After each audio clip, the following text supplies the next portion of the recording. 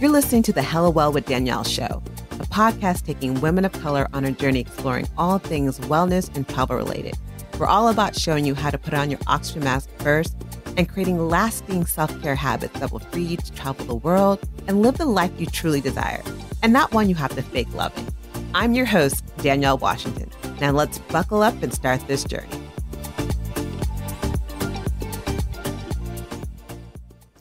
Welcome to the Hella Well with Danielle podcast, your weekly mental vacation from the daily grind for busy women who just need a moment to pause, breathe, and woosah.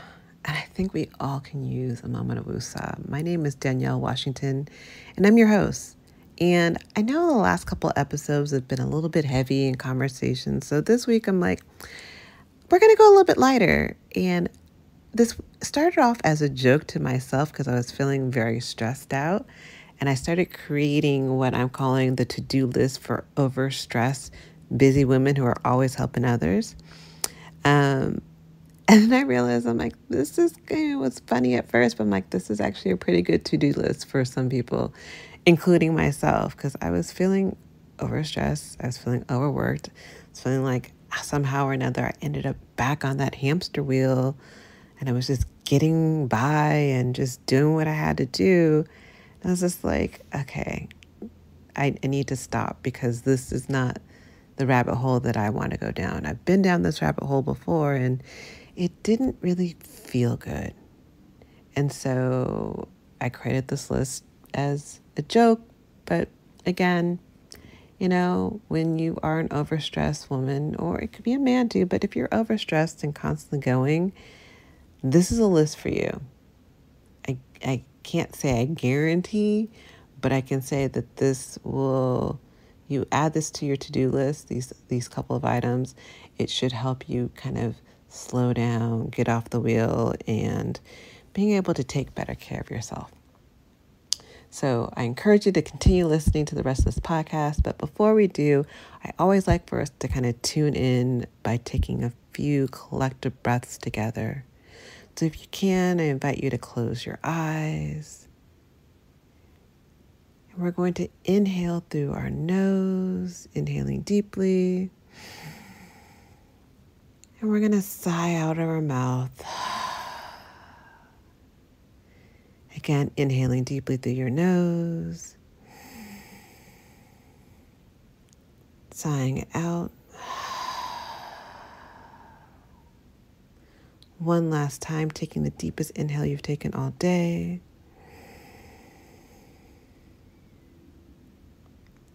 And exhale. I feel like sometimes we just need that exhale.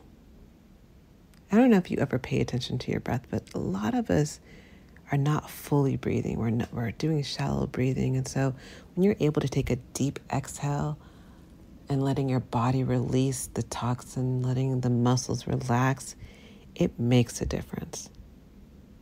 Because I don't know, being stressed out is not fun.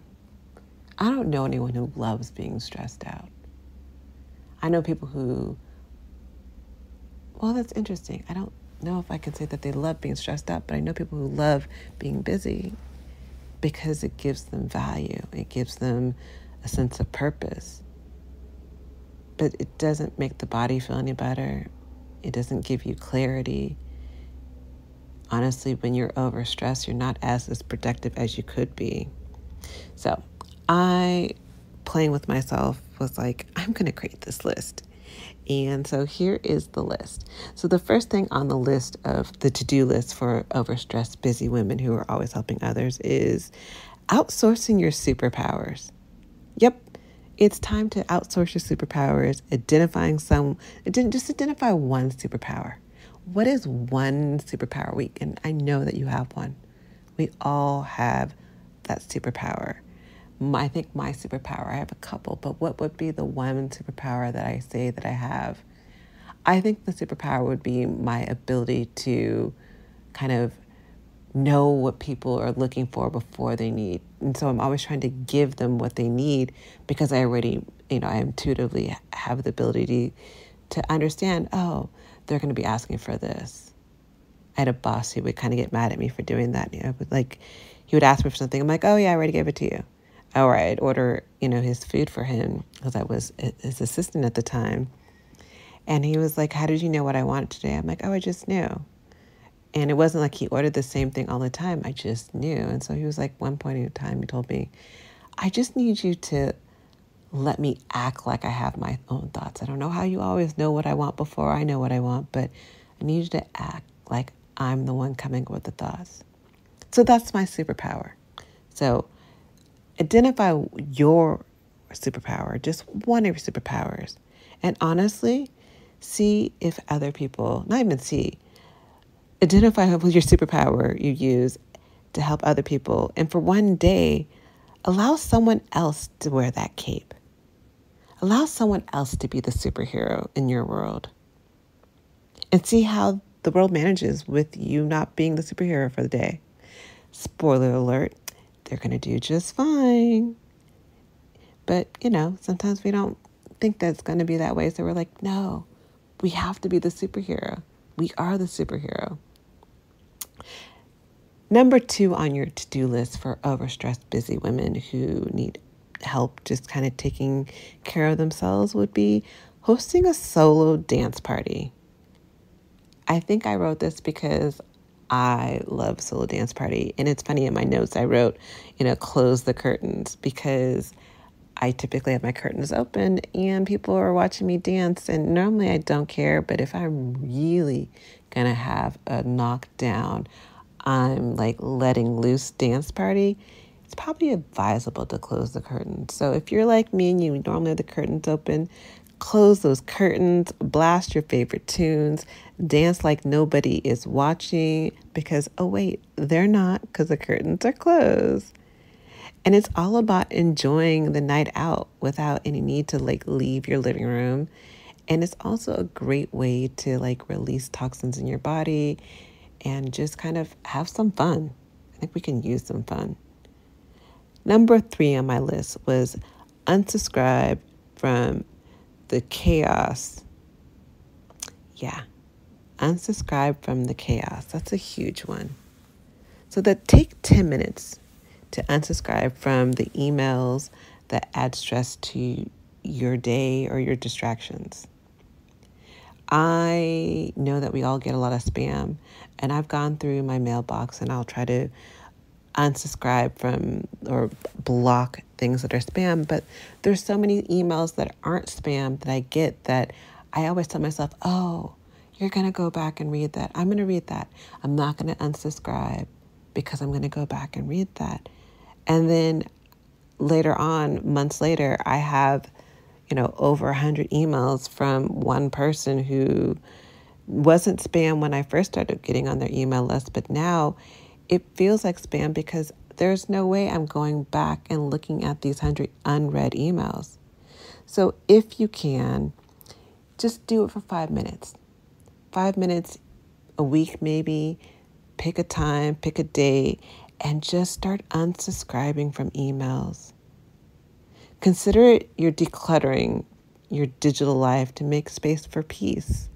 And that's so important. I don't think it's just that we need to focus in on having space and cleanliness in our physical life our email life can feel overwhelming. Like when you have an email box that has 20,000 emails unread and you're kind of, oh my God, I have all these things. Even if you're just seeing the note on the notification of the time or how many emails you have, that can feel stressful as well. So, a way to help you not overstressed is a way to start stopping some of the emails. You can't, you know, you can try to get rid of all the ones you have. But one way to stop more emails from coming in is by decluttering your email and unsubscribing. Next on the list, number four. Number four is one of my favorites, one of my favorites, and that is nature detox walks. I love walking in nature. I don't do it as much as I would love to. There's no rationale behind it minus me saying to myself, oh, you don't have time. Oh, I'll get to it.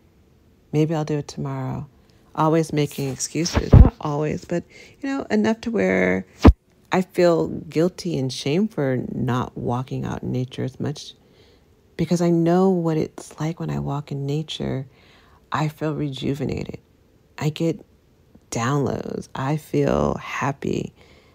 I know that I feel better than I did beforehand. So I invite you to go on walks without your phone. I said that right. Go on a walk without your phone, or at least maybe your phone's in the car somewhere or you just don't need it, or turn the phone off if you really have to have your phone with you. And just observe nature. Observe the sky. Observe the sounds around you. Observe everything you hear, see, touch, and really be present. And that's the goal. The goal of this number four, this nature detox walk, is simply being present. Number five on the list is creating a DIY spa hour. And this is not talking about, oh, I'm going to a spa and spending a lot of money, because then that could be stressful, spending the extra money.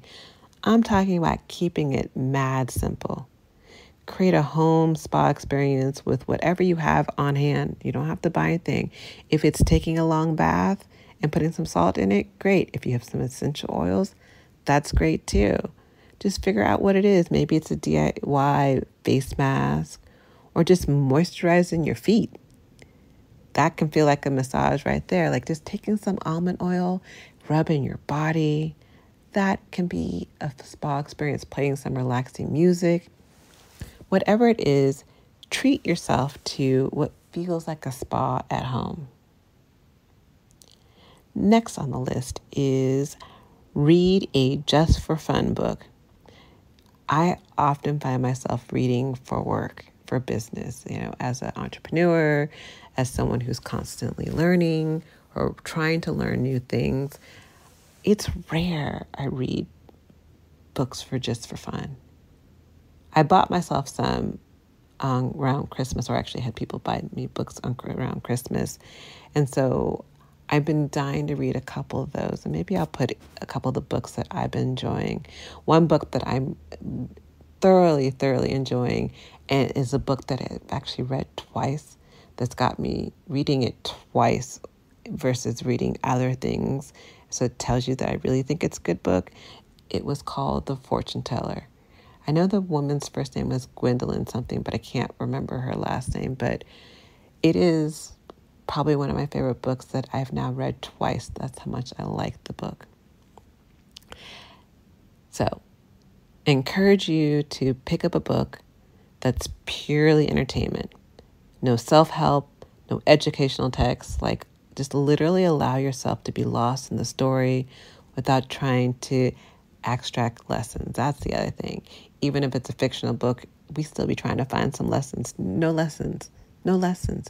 Let the book truly be just trash. Maybe it's a Joan Collins or Jackie Collins books. I liked those when I was a kid. I don't know what that says about me as a kid, but those were the books I was reading.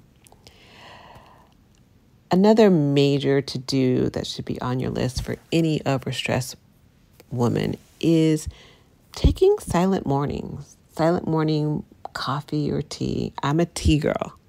Whatever your beverage of choice, spend your morning with your beverage and time in silence. You can contemplate the warmth of the cup. You can, you know, really be present in tasting every ounce that you're drinking.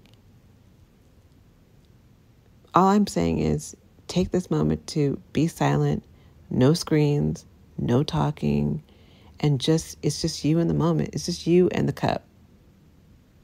And see how that feels. Last on my list, because I kept it short, was creating gratitude doodles. I'm not a doodle girl, but I was just like, you know what? This would be fun to do, kind of just spend a few minutes doodling things that I was grateful for like oftentimes I will say my gratitude in my head, but like, and I've been recently creating a gratitude journal, but like when days when it's not even a journal, because I feel like a journal still feels like it's a task, it's another check on the to do list. But when you're having moments when you're not being as productive, maybe you're in a meeting, maybe you just need a moment to pause.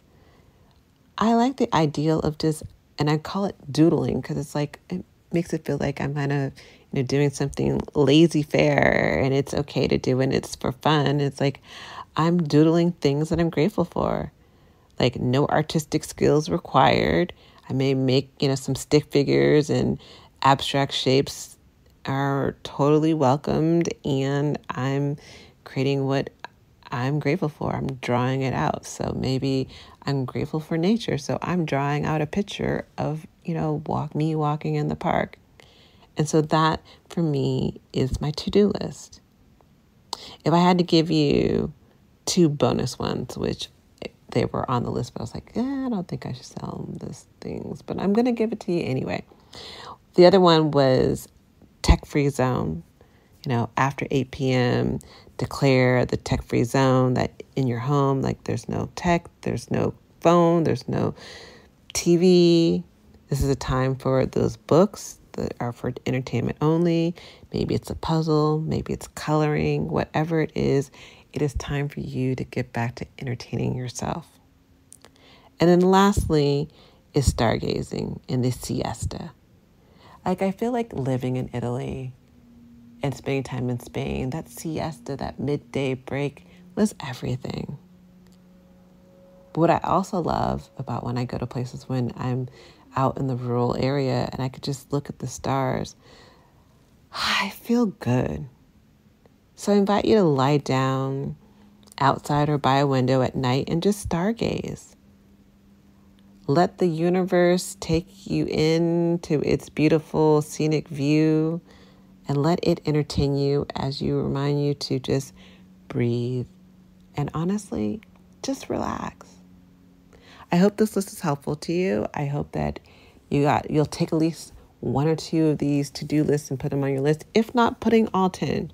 Let me know, send me a note about if you're going to add these to your own to-do list or if you have your own to do list for being an overstressed woman. Let a sister know because I think for me, what started off as a fun and game was like, oh, yeah, I can kind of use a lot of these things. All right, on that note, I will talk to you guys next week. Ciao.